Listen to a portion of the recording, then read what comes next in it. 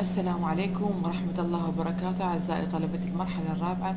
ضمن مادة تصميم منظومات الري الحقلي آه وصلنا إلى موضوع الأسس الهيدروليكية أو الأسس المتبعة في معرفة نوع الجريان داخل أنابيب الري بالرش اللي هي معادلات هيزن ويليام empirical.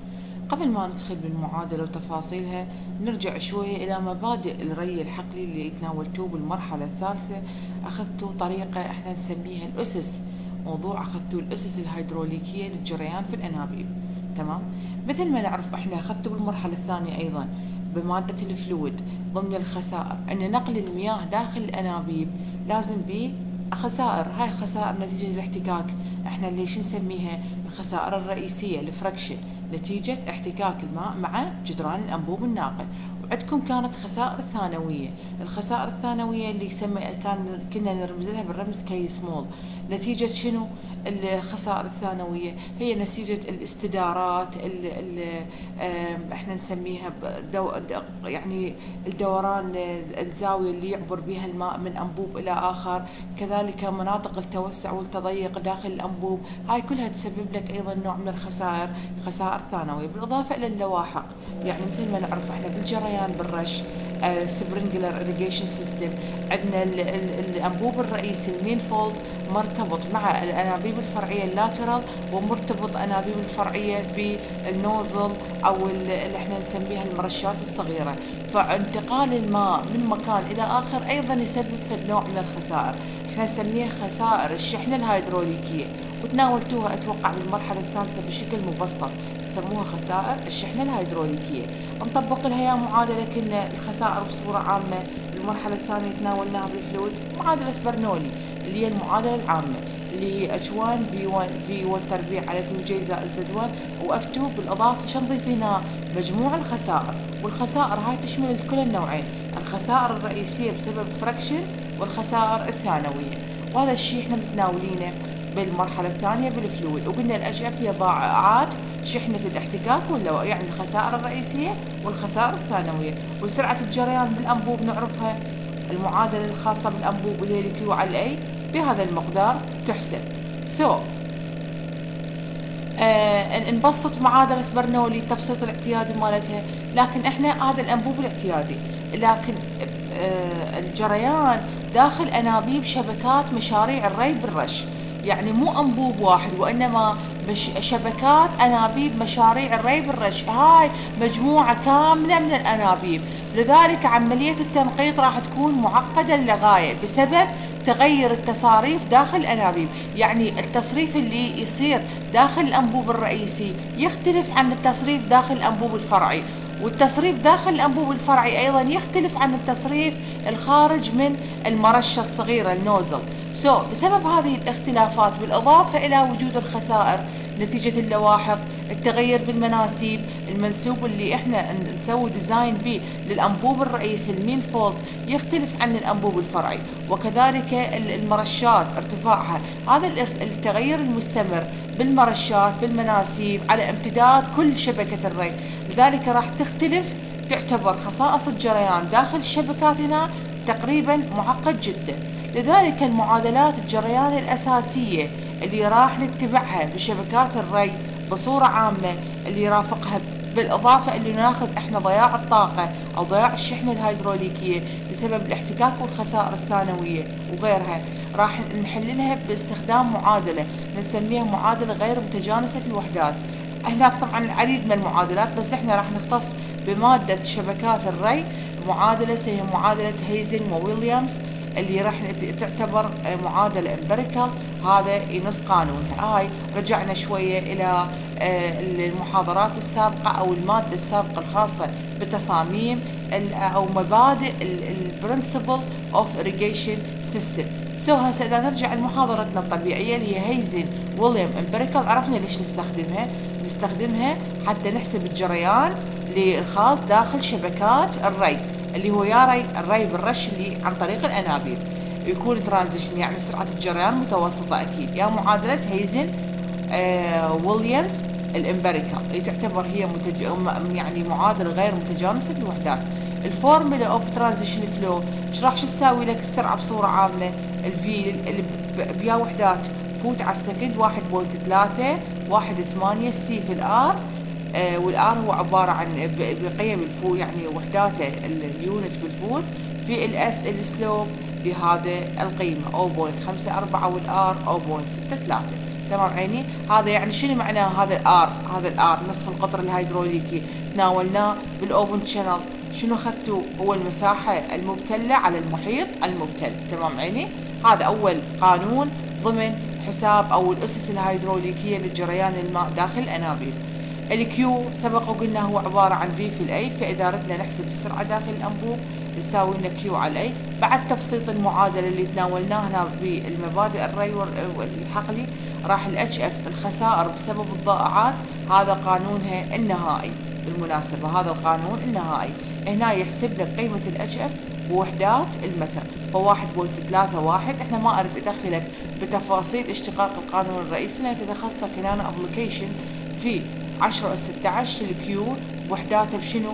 بالمتر مكعب على الأور على ستي اللي هو المعامل معامل أنبوب اللي pipe عن طريق الهيزن ويليام coefficient في ال D قطر الأنبوب يا وحدات بالملم المرفوع للأس سالب 4.87 في ال L طول الأنبوب بالمتر على 100 تمام عيني؟ طول الأنبوب بالمتر على 100 بعد هذه المعادلة هسه راح نجي نوضح تفاصيلها الداخلية. ال C هو ال coefficient أو المعامل هيزن ويليامز coefficient اللي إيش قد تأخذ قيمته؟ هذا طبعا القيم هاي تعطى بالسؤال if you know. لل steel أو ال iron 110 للبلاستيك أو البوليمر 150 للألمنيوم 120 لل cement أوبسايد pipe الأنابيب الكونكريتية يؤخذ 140 تمام عيني؟ هذه المعادلة إيش تستخدم؟ لنا نحول التصريف من وحدات ال foot تكعيب لل second إلى وحدات المتر مكعب على ال second. ولحساب قيمة من؟ قيمة ال head losses اللي تصير يعني ضائعات الشحنة أو فاقدات الشحنة أو أو ضائعات الشحنة الهيدروليكية داخل أنبوب الري بالرش. هسه نجي. شلون نحسب ال head؟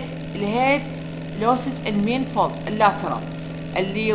يعني شلون إحنا الأنبوب الناقل إحنا نسميه. هسه الخسائر داخل الأنبوب الناقل.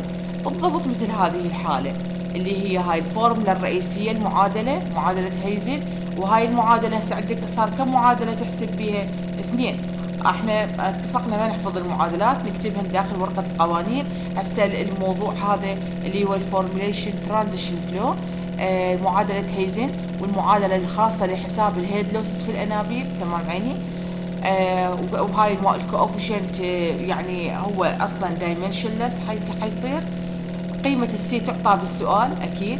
بعد ذلك هسه اذا نجي لل main fold اللي هو يا هو ال main fold يعتبر الأنبوب الموزع اللي أنا من الرئيسي أوزع للأنبوب الداخلي. الأنابيب الفرعية ال head losses ال HF راح هذا اللي حساب ال head losses. اللي نفس القيمة الفوق. هسه راح نجي إيش راح تفرق عندنا؟ إذا تلاحظون هنا هسه هاي قيمة يدخل التصريف وخروجه. شلون أنا أحسب الضائعات بصورة عامة؟ شلون أحسب قيمة الضائعات؟ لاحظ هنا هذا قيمة ال HF مثل ما اتفقنا عليه. هذا ال manifold راح شو نسوي؟ نحسب ال orifice discharge شو يقصد بيها؟ يقصد بيها إنه آه تصريف الفتحة الواحدة تصريف المرشة الواحدة. إحنا مو الشبكة تحتوي على الأنبوب الفرعي يحتوي على مرشات. المرشة الوحدة إيش قد تصريفها؟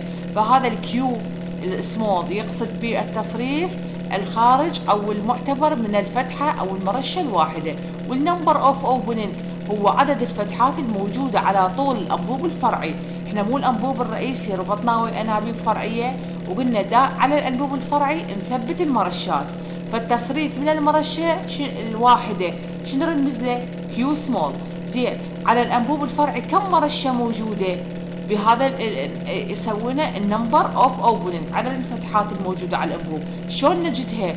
طول الأنبوب الكلي على المسافة بين مرشة وأخرى. اللي أخذناها بالمحاضرة الأولى ضمن ال sprinkler. كان شنو رمزها؟ اسود سو so, إذا تريد تحسب التصريف الكلي يساوي لك عدد الفتحات في تصريف الفتحة الواحدة أو تصريف المرشة الواحدة الصغيرة النوزل. تمام عيني؟ هذا الأنبوب الموزع المين فولد. بهذا يسمونه الكورير الأنبوب الناقل. فخط الطاقة شلون راح ترسمه؟ بالمناسبة إحنا عندنا الأنبوب أكيد ينغلق من جهة والمصدر الرئيسي للتوصيل من جهة. يعني أنا الأنبوب نهايته بالحقل لازم يكون مغلق. يعني ما يكون مفتوح من الجهتين. تمام عيني؟ الترقيم ال HF بالمناسبة تبدأ الخسائر دائما منين من أول آه، من يعني من آه، لحظة دخول الماء يعني من ال main source الرئيسي. so, ترقم من أطلب من عندك ترسم لي خط الطاقة. يبدأ الترقيم. انتبه على هذه العبارة. دائما يكون الترقيم من جهة اليمين. يعني يا جهة دكتورة النهاية المغلقة للأنبوب. على أساس الرسم اللي راح ننطيه تكون أكو نهاية مغلقة منها تبدي ترقم. الاتش اف 1 اتش اف 2 اتش اف 3 4 5 تمام عيني؟ منها تبدي لاحظ هذا الرمز خاف موجود بالملاحظة الأصلية فضروري تثبته عندك بالملاحظة الأصلية. هذا الموضوع. فرسم خط الطاقة يكون بهذه الطريقة. يعني أول مناسبة أول واحد اللي هو جهة اليمين المغلق دائما أول واحد ما يكون به head losses لذلك شلون نرسمه الرسمة بشكل أفقي. يعني ما ما ضائعات لأن هو راح ينتهي هنا منين يبدي دائما خط الطاقة؟ يبدي من ثاني انبوب لذلك من ثاني انبوب نسمي انت ال HF 1 من ثاني انبوب الثالث أيضا شنو قيمته اتش اف 2 اتش اف 3 اتش اف 4 لأن هذا تعتبر HF إيش قد قيمته؟ صفر. فمنها يبدأ ال H 1 منها تبدأ قيمة ال head losses لذلك إذا تلاحظ تبدأ يعني خط الطاقة الفعلي ويتناقص مع اتجاه الجريان. يتناقص مع اتجاه الجريان. so ال HF 1 نفس القيمة بهذا المقدار. ال HF 2 بس ال Q إيش راح ناخذه؟ 2 Q. إلى ان HF N. بس مجرد ال Q اللي هو التصريف من الفتحة الواحدة أو من المرشة الصغيرة الواحدة في عدد المرشات اللي هو ال N تمام عيني؟ بس هذا المقدار تاخذ أنت. ال N يقصد بها مو ال N capital منه لا وإنما يقصد بها العدد. يا هذا يا عدد يا رقم. ال HF 4 فضربه في أربعة. هذا ال HF 3 في ال N إيش قد قيمته ترقيم الفتحات.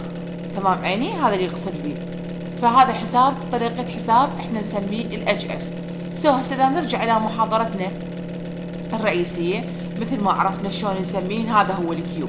لاحظ هنا ال Q capital لاحظ هنا هذا Q 2 Q 3 Q 4 من هذا المقدار تحسبهن أنت. لحساب ال head في كل نقطة. تمام عيني؟ ها هو هذا خط الطاقة اللي شرحناه بذاك الرسم كان شوية أوضح. دائما ترقيم المرشات يكون المغلقه منين؟ من النهاية المغلقة يعني من اليمين من يمين الانبوب وهاي هي قيم ال HF لحسابها. تمام عيني؟ هاي الموضوع ضروري إحنا نفهمه. قيم حساب ال HF لاحظ هنا قيمة ال Q ال Q capital شو يساوي لنا؟ ال N في ال Q التصريف الكلي وال L الكلي يساوي لنا ال N small في ال S 1 ال S 1 شنو؟ المسافة بين مرشة وأخرى. هاي المعادلات هاي لاحظ هاي ال HF معامل أكو معامل بال manifold حتى الأنبوب الموزع والأنبوب الرئيسي. الأنبوب الموزع أو الناقل إيش يساوي لنا؟ الخسائر بالأنبوب الرئيسي يساوي لنا ال HF اللي هي الخسائر بالأنبوب الناقل في معامل كريستيان reduction factor معامل كريستيان اللي هو ال F capital اللي راح نستخرجه من chart معين. تمام عيني؟ إذا طلب من عندك إذا أنت تحسب لل carrier إذا طلب من عندك ال HF لل manifold هو قيمة ال carrier في تضربه اللي هو معامل ال ال أو المعامل التناقصي يسمونه كريستيان reduction factor هذا ضروري تعرفه أنت اللي هو المعامل الخاص بحساب هذه المعادلة حتى نحسب الضائعات في أنبوب ال manifold. تمام عيني؟ وأيضا في نوع ال carrier عندما يكون قيمة ال F قد؟ zero. إذا ما كان عندنا reduction آه، عملية تناقص بين ال manifold وال carrier تمام عيني؟ العلاقة تعرف هاي ملاحظة عامة كاتبت لك إياها؟ إنه العلاقة بين ال HF ال losses والقطر ال D علاقة عكسية. كل ما يزيد قطر الأنبوب الضائعات والخسائر اللي تصير بالشحنة الهيدروليكية راح تقل. وكذلك شلون تعرف عدد المرشات؟ هو طول الأنبوب الرئيسي اللي هو ال L على ال S ونعرف ال number وهذا تناولناه بالأعلى مثل ما تلاحظون.